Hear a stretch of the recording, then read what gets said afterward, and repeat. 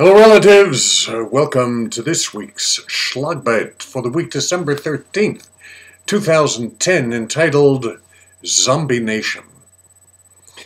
Do you know what the top selling class of pharmaceuticals is in America today?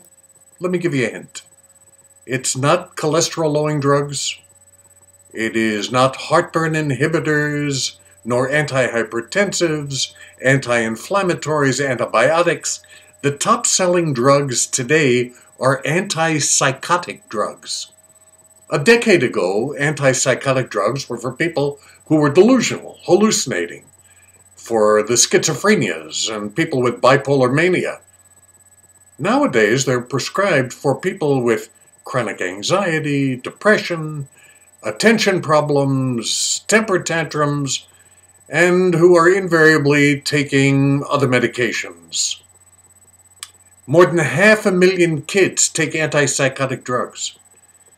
In the United States, nearly one child in ten is diagnosed with ADHD.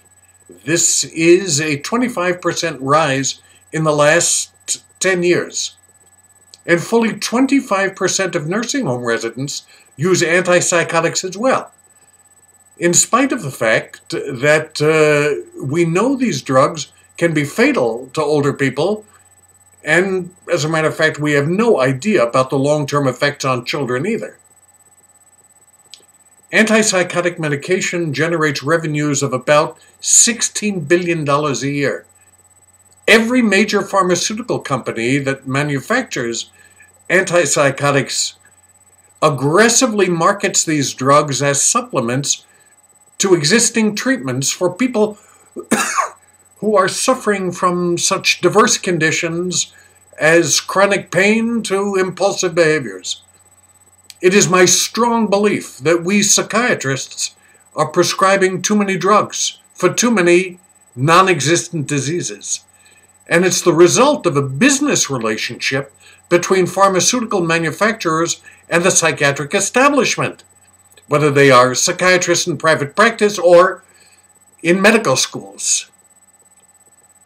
They both collude in defining unacceptable behaviors as mental illnesses, for which, of course, there are medications that can be prescribed.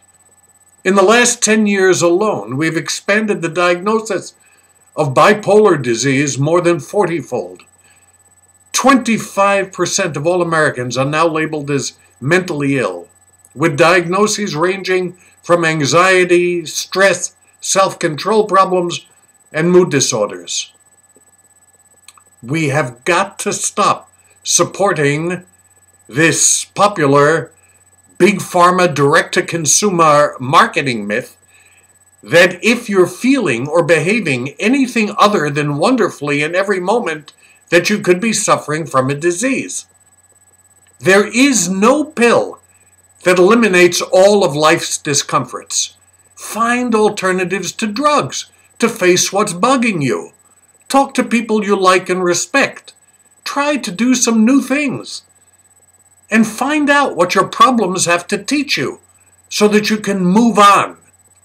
We are manufacturing mental illnesses we're prescribing too many drugs and turning this country into a prescription drug addicted zombie nation. That's what I'm thinking. Have a great week in this joyful season of renewal. Find ways to lift your spirits other than prescription drugs. I say this for all my relations. Mitakuye Oyasin.